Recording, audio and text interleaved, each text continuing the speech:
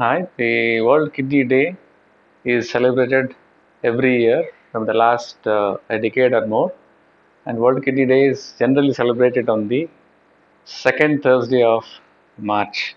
And as we all know, the World Kidney Day, the concept was adopted by two world bodies, the ISN and the uh, Institute, uh, International Foundation, Kidney Foundation. And uh, each year we have a theme. And uh, this year the theme is that uh, it is said that we have to live with the kidney disease we have happily uh, for times to come. And as we all know, kidney disease is a serious, devastating problem, uh, wherein we almost see uh, the tune of uh, 250,000 to 275,000 uh, kidney failure patients annually.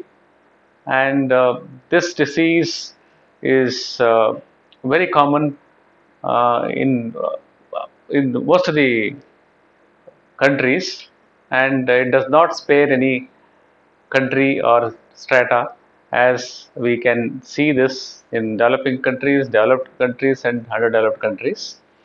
And, uh, and I, think by now all of you know the some of the common causes of uh, kidney failure would be diabetes, blood pressure, infection, kidney infection, it could be kidney infection, stones, and nephritis, and the man-made problem because of uh, indiscriminate use of uh, medicines in the form of painkillers or alternative alternative form of uh, medicines. Uh, so the very important uh, message that I would like to really bring up here is that uh, one needs to at least make an attempt to get themselves checked once in a year. The best way to remember would be to check uh, for these uh, tests at least once on the day of your birthday, which you will definitely not forget in your life.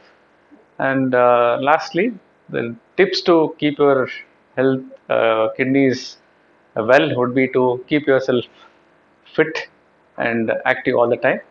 Avoid uh, consumption of uh, high calories, salt. Be active by having physical activity at least for 30 to 45 minutes, five days in a week, and then uh, that's it. I think the, we should uh, follow this meticulously, not one day in a week or a month, but it has to be practiced almost daily. It should be ingrained in our system. Thank you.